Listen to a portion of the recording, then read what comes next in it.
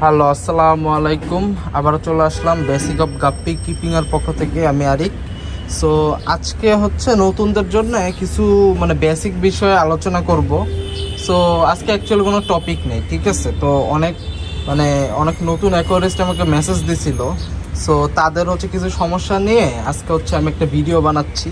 So আশা করি যারা নতুন, তাদের অনেক উপকারে আসবে। সো ফার্স্টে শুরু করি হচ্ছে যে অনেকে প্রশ্ন করে, ভাই, আমি কয় মানে কয়টা গাপ্পি রাখতে পারব? কত লিটার পানিতে? ধরেন যে যারা হচ্ছে নতুন, তারা তো ফার্স্টে আর এই ড্রামে শুরু করে না, তারা হয়তো বা এই যে গামলা বা হচ্ছে বালতি এগুলো তো শুরু করে। সো আপনি যদি গামলায় পালেন, ঠিক আছে? এটার আগে বলি আমি যে মানে সাইন্টিফিকভাবে মানে বৈজ্ঞানিক বিজ্ঞানীদের মতে আপনি হচ্ছে এক গ্যালনে একটা গাপ্পি রাখতে পারবেন। এক গ্যালন সম্ভবত থ্রি পয়েন্ট ফোর এরকম কিছু একটা লিটার হবে, আমার মনে আসতেছে না। যাই হোক সো মানে অ্যারাউন্ড মানে অ্যাভারেজে চার লিটার ধরতে পারেন। সো ওরকমে একটা গাপ্পি রাখতে পারেন। বাট হচ্ছে মানে আমাদের এক্সপিরিয়েন্স যারা হচ্ছে আমরা গাপ্পি পালি তো তারা বলে থাকি যে এক লিটারে একটা এডাল গাপ্পি রাখা যায়। আর ফ্রাইয়ের জন্য আপনি সেটা হাফ লিটার ধরতে পারেন বাট যত বেশি হয়, সেটা হচ্ছে মানে সেটা হচ্ছে ভালো। গাপ্পি মাছের জন্য অনেক হচ্ছে ভালো। এটা হচ্ছে জাস্ট আমি গাপ্পি মাছের জন্য বলতেছি আদার্স ফিশ না, ঠিক আছে? কারণ এক এক ফিশের জন্য এক একটা মেনটেন করা লাগবে।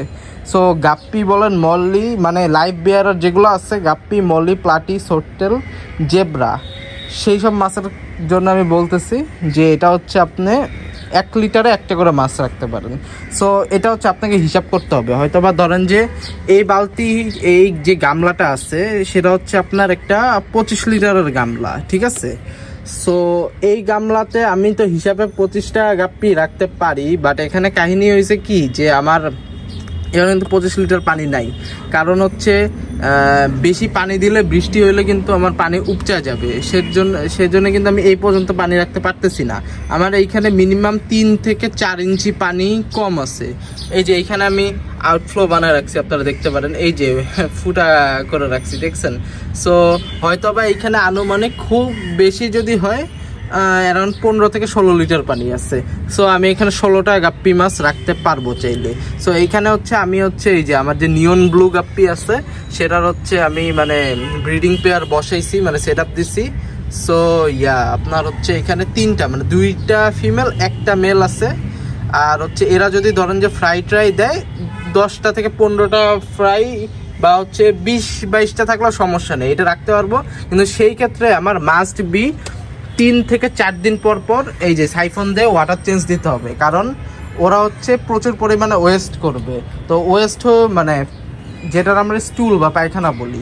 সো পায়খানা করবে, আমরা খাবার দিব, সেটা নিচে যাবে সারফেসে যে সেই জায়গাটা ময়লা হবে সো তখন ঝামেলা কি হবে? তখন হচ্ছে ওখান থেকে অ্যামোনিয়া হবে। আর অ্যামোনিয়া হলে তো মাছ একটু ঠিক থাকবে না। এর জন্য আমরা যদি রেগুলার যদি আমরা চেঞ্জ করে দেই, প্রতিদিন করতে পারলে তো ভালোই। কিন্তু আমরা তো মানুষ রোবট না, ঠিক আছে? প্রতিদিন সবার টাইম হয় না। সেই ক্ষেত্রে আমরা তিন দিন, চার দিন সাত দিনের আগে করলেই ভালো এইসব ক্ষেত্রে। কারণ আমরা একটু ওভারস্টক করে রাখতেছি মাছটা। সো সেই ক্ষেত্রে আপনি যদি তিন, চার দিন পরে ওয়াটার চেঞ্জটা দিয়ে দিতে পারেন, তাহলে এটা মাছের জন্য খুবই ভালো। আবার হচ্ছে আপনি নতুন পানি অ্যাড করলে সেখানে অক্সিজেনও হচ্ছে মিশবে পানির সাথে। সো ট্যাঙ্কের সেট আপটা পুরোপুরি খুব সুন্দর থাকবে। আচ্ছা এইবার গেল গামলাতে। সো এবার আসি একটু বালতি নিয়ে। তো বালতির ক্ষেত্রেও জিনিসটা সেম ঠিক আছে? বালতিতে যাওয়ার আগে আরেকটা কথা বলি, গাপ্পির কিন্তু আপনার যে উচ্চতার দরকার নেই। একটা বালতিতে এটা মনে হয় আনুমানিক এক ফিট এক ফিটের একটু বেশি আছে, এক ফিট উচ্চতা আছে।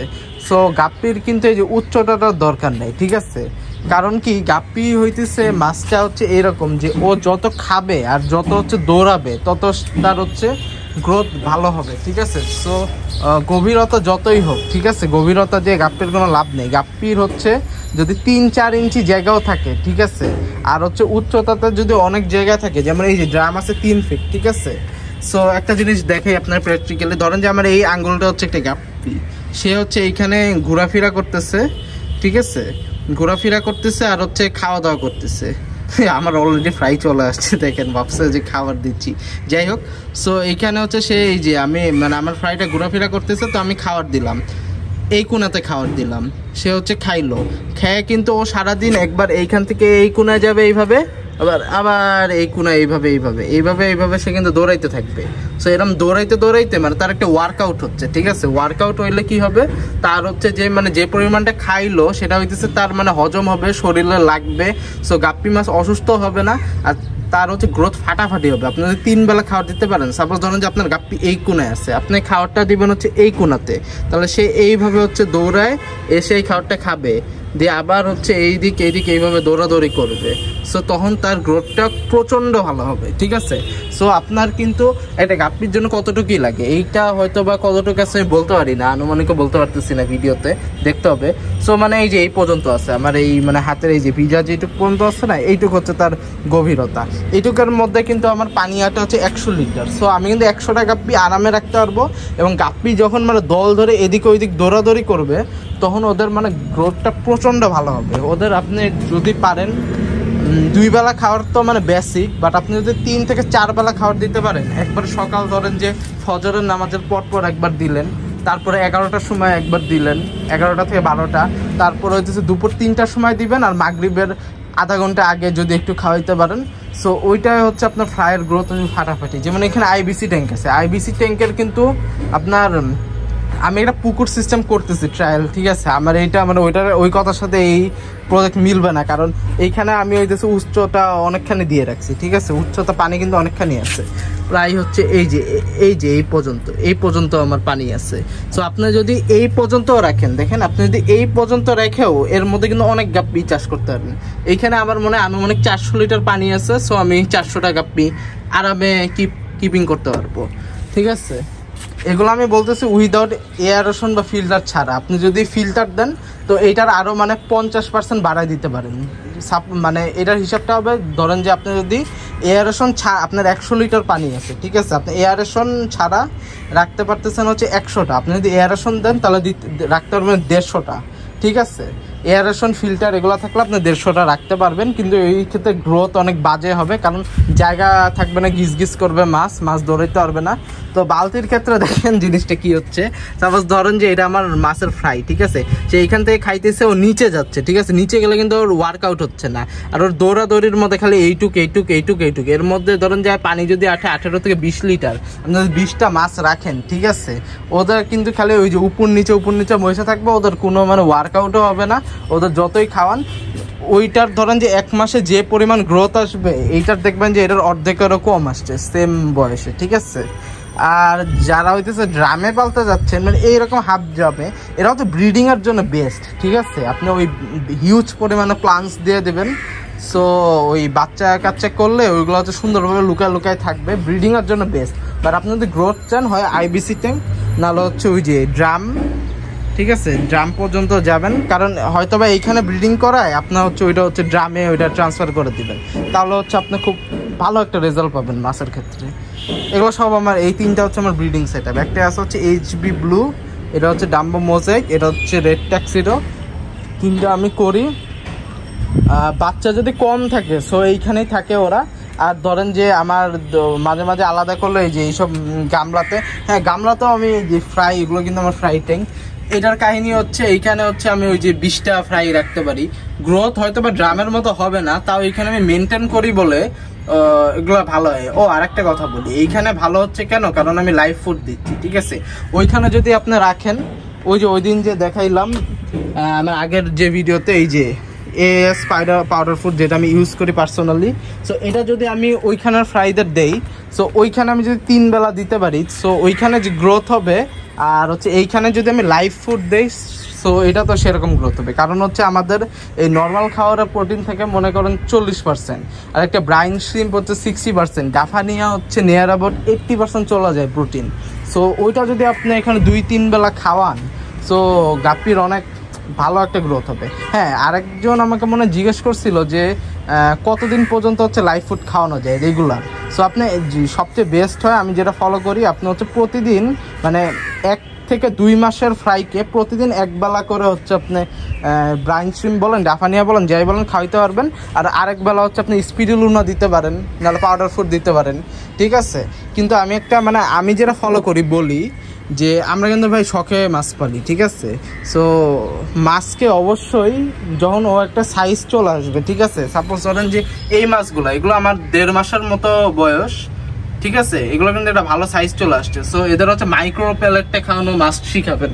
কারণ ওই আপনি ধরেন যে বড় করার জন্য আপনি লাইফ ফুড মাছের দিয়েই যাচ্ছেন দিয়েই যাচ্ছেন, ওর কিন্তু মানে বড় হয়েও কিন্তু ওই প্যালেট খাইতে পারবে না, ঠিক আছে? সো প্যালেট কি ওইটা হচ্ছে বুঝবেই না। সো ছোটোবেলা থেকে মাছকে প্যালেট খাওয়ানো শিখান, তাহলে বড় হয়ে কিন্তু কোনো ঝামেলায় পড়বেন না মাছটা ঠিক আছে? সো আপনারা হইতেছে মাছকে প্যালেট দিবেন। প্যালেটে যতই প্রোটিন কম থাক মাছকে একবেলা হলেও প্যালেট খাওয়াবেন।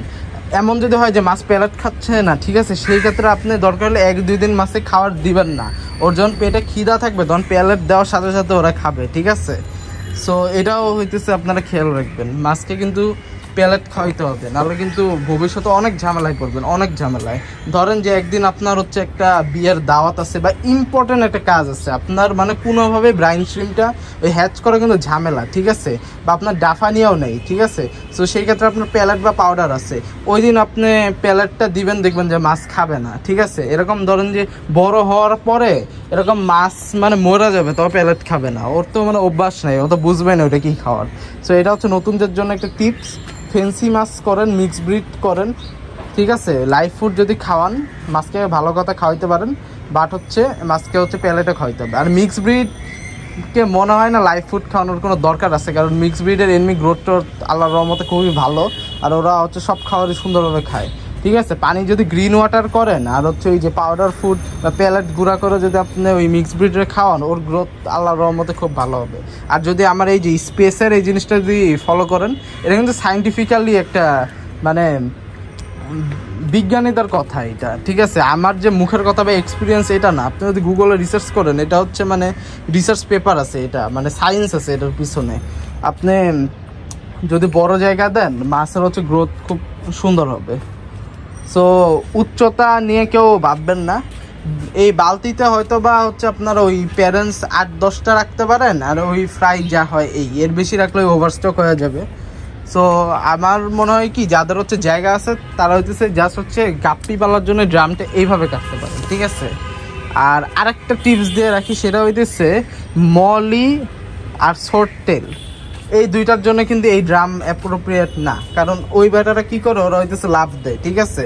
সো আপনি যদি এমনি পানি দিয়ে রাখেন, দিয়ে মলি শর্টটা ছাড়েন, একটাও টিকবে না। ওরা ওই ধরেন যে একটু বৃষ্টি হয়েছে বা হইতেছে আকাশে ইয়া করছে বিদ্যুৎ চমকাইছে, দেখবেন সব লাভ দিয়ে দিয়ে দিয়ে দিয়ে শেষ, বেসে গেছে। এটা জাস্ট গাপ্পির জন্য এইরকম কাটা ঠিক আছে। আপনারা যদি মলি সর্টেল এগুলো পালেন, মলি আর সর্টেল বিশেষ করে এটা হইতেছে অনেক জোরে লাভ দিতে পারে। সো এরকম ড্রাম বা আইবিসি ট্যাঙ্কে মিনিমাম ছয় ইঞ্চি। ছয়, পাঁচ থেকে ছয় ইঞ্চি হচ্ছে পানির স্তরটা কমায় রাখবেন। দেন হইতেছে আপনি হইতেছে ওরা পালতে পারবেন। সো আজকে এই যে এটাই বললাম, আজকে এই পর্যন্তই থাক। নেক্সট দিন হয়তো বা হচ্ছে আরেকটা টপিক নিয়ে। নেক্সট দিন আমার ইচ্ছা আছে হচ্ছে ইয়া অ্যালগি নিয়ে একটা কথা বলব, ঠিক আছে? আমি হচ্ছে আপনাদের মানে ভিউয়ার যারা আছেন আমার দুইটা কোয়েশ্চেন করে যাই। সেটা হচ্ছে যে অ্যালগি নিয়ে কি কেমন ঝামেলায় আছেন, এটা আমার একটু জানান। আর হচ্ছে ইউটিউব বলেন গুগল বলেন, ঠিক আছে? আপনি যদি ব্রাইন স্ট্রিম হ্যাচ লেখে সার্চ দেন, আপনার কিন্তু হাজার হাজার ভিডিও চলে আসে, ঠিক আছে? সো আমার একটা মানে ছোটোখাটো টেকনিক আছে। মানে অনেকটা ওদের মতোই বাট হইতেছে আমার অত ঝামেলা না করে আমি ধরেন যে মানে ওই সেম প্রসেসই জাস্ট একটু ঝামেলা কম, ঠিক আছে? তো ওই ভিডিওটা বানাবো নাকি আমার একটু কমেন্ট করে জানেন, ঠিক আছে? কারণ কিন্তু ব্রাইন সিম্পল ভিডিওর কিন্তু অভাব নেই, ঠিক আছে? তো আমি যদি বানাই, এটা কিন্তু মানে অনেকের কোনো কাজে আসবে না। কারণ ওই সেম প্রসেসই ওইরকমই। জাস্ট একটু মানে উনিশ বিশ চেঞ্জ এরকম। যদি কেউ চান, কারও যদি দরকার হয় আমার বললেন, তাহলে চেষ্টা করব আমি। সো আজকে আমি আসি নেক্সট দিন আমি এলগি নিয়ে একটা ভিডিও বানাবো। সো আশা করি আমার সাথেই থাকবেন সবাই ভালো থাকবেন। আসসালামু আলাইকুম।